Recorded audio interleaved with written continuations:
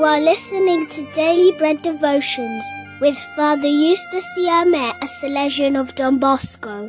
Your word, Lord, is a lamp for my steps. Stay tuned. This is my daily bread.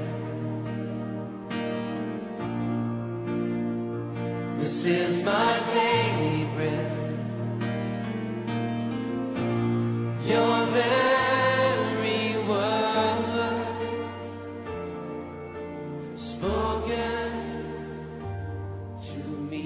In the name of the Father, and of the Son, and of the Holy Spirit. Amen. The Lord be with you. And with your spirit, It is Monday, the 18th of January 2021, second week in ordinary time. Let us pray. Almighty, ever living God, who governs all things, both in heaven and on earth, mercifully hear the pleading of your people and bestow your peace on our times through our Lord Jesus Christ, your Son, who lives and reigns with you in the unity of the Holy Spirit, one God, forever and ever. Amen. Our first reading will be taken by Tamanda Baloi, child of Mwaiwao and Dalitso Baloi, Daily Bread members from Lilongwe, Malawi. Although he was a son, he learned obedience through what he deserved. A reading from the letter to the Hebrews. Hebrews 5, verse 1 to 10. Every high priest, chosen from among men, is appointed to act on behalf of men in relation to God, to offer gifts and sacrifices for sins. He can deal gently with the ignorant and wayward, since himself is beset with weakness. Because of this, he is bound to offer sacrifice for his own sins, as well as for those of the people. And one does not take the honor upon himself, but he is called by God, just as Aaron was. So also Christ did not exalt himself to you are my son. Today I have begotten you. As he says, also in another place, you are the priest forever, according to the order of Melchizedek. In the days of his flesh, Jesus offered up prayers and supplications, with loud cries and tears, to him who was able to save him from death, and he was heard for his godly fear. Although he was a son, he learned obedience through what he suffered. And being made perfect, he became by the source of eternal salvation to all who obey him, being designated by God a high priest according to the order of Melchizedek. The word of the Lord. thanks be to God. Our gospel passage will be taken by Deacon Joel Kapilikisha, a Daily Bread member and a Capuchin missionary studying in Nairobi, Kenya. The Lord be with you. And with your spirit, A reading from the Holy Gospel according to Mark. glory to you, O Lord. We shall read from Mark chapter 2, verse 18 to 22. At that time, John's disciples and the Pharisees were fasting.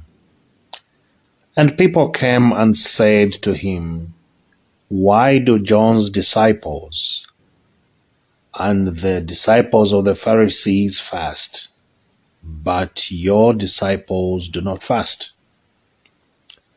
And Jesus said to them, Can the wedding guests fast while the bridegroom is with them? As long as they have the bridegroom with them, they cannot fast. The days will come when the bridegroom is taken away from them, and then they will fast in that day. No one sews a piece of unshrunk cloth on an old garment. If he does, the patch tears away from it. The new from the old, and worse tear is made. And no one puts new wine into old wineskins. If he does, the wine will burst the skins, and the wine is lost. And so are the skins. But new wine is for fresh skins. The Gospel of the Lord. Praise to you, Lord Jesus Christ.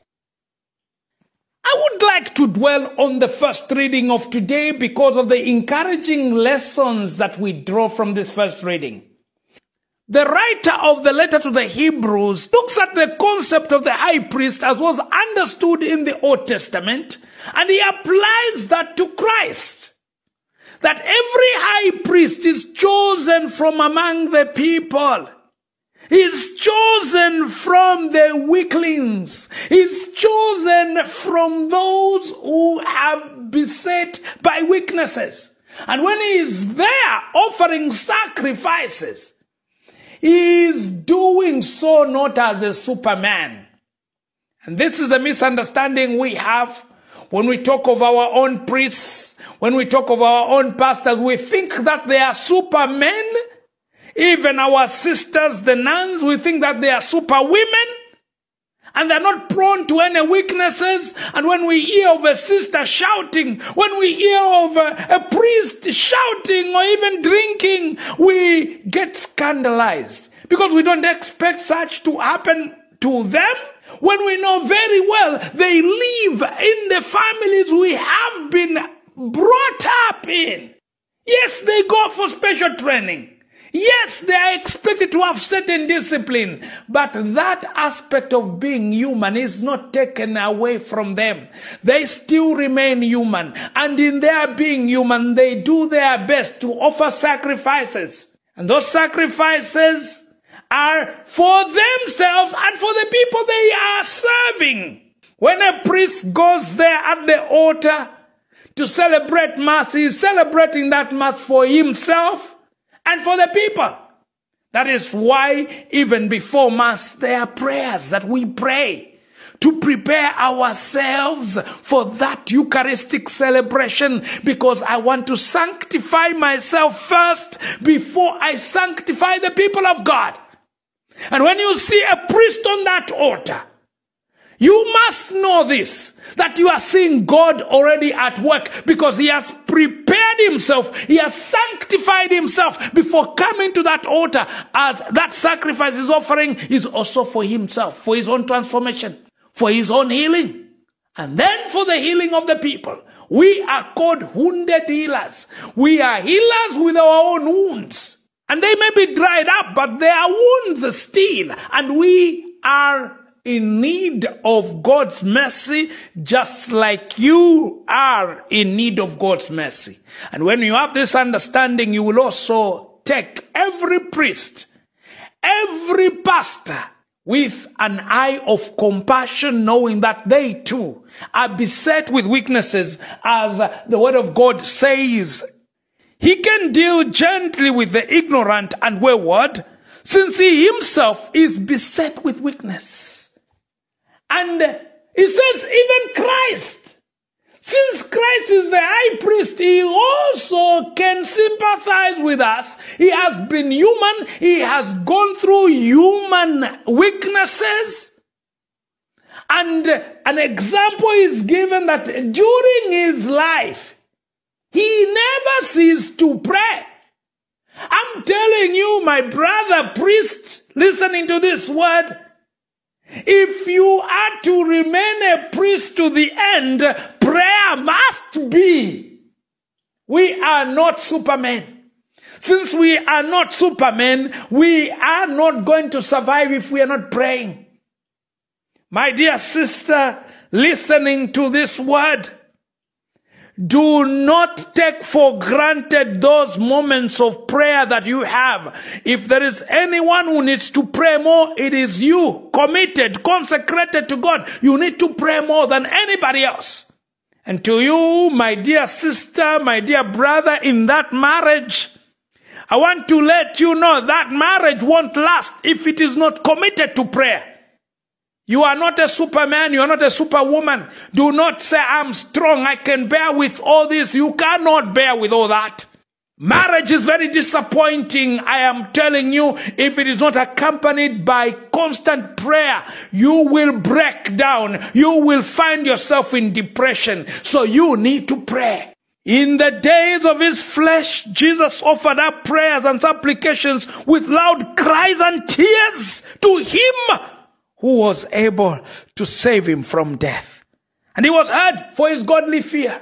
He cried. He had tears when he lived in this life. He had all the weaknesses of a human being. He tested what it means to be human. So when you cry as you pray, do not think that is a sign of weakness. No, that is a sign of your own strength. The Lord himself cried during his lifetime. He cried and God answered him because of his godly fear. That fear is the humility that you need to have and remove all the pride to say, I can manage everything on my own. You cannot manage everything on your own. The gospel passage of today is a continuation of the gospel we read on Saturday. Levi has been called and he invites his friends for a farewell party to say, now I am living the way of life I was leading. And if you want, you can join me because I have found Christ. I have found something nice. And since I found something nice, I want to let you know the life I'm getting into is a life of a celebration. It is not a gloomy kind of life. No, I'm not going to mourn. I am going to celebrate. And others were upset. Others felt this is not the right way. And so they came to him. You people are fond of enjoying your life. Why do John's disciples and the disciples of the Pharisees fast, but your disciples do not fast? They are referring to that moment when Levi held a celebration and they were not happy with it. The Lord now takes them to this understanding that he's a bridegroom. Coming to Jesus, you are coming to a wedding banquet. And when you are coming to a wedding banquet, do not expect to put on a gloomy face. No, you are coming to a kingdom of celebration. And so you have to be happy. You have to be rejoicing. And it makes them understand that fasting is a sign of grieving. So, if you find your path, your way to Christ, do not think you are coming to grieve. No. I hate to see Christians who, who are looking like they are mourning all the time. We are supposed to be looking like people who have life. Because we have found Christ. Because we have found Him who understands us and who has gone through our human nature. And He knows that coming to Him involves a celebration. Why should I follow Christ if following Him makes me sad? No. But I want to let you know, you will have no regrets. When you find yourself with Christ, things will be going wrong often. Troubles will be there. But there will be a certain joy that people won't take away from you because you will be looking like somebody who is constantly celebrating. That is the life of Christ. You have new wine into new wine skin. Your mentality changes. Your way of thinking changes. Your approach to life changes. And you start seeing everything in a positive light. We give glory to the Father, and to the Son, and to the Holy Spirit. As it was in the beginning, is now, and ever shall be, world without end. Amen. The Lord be with you. And with your spirit.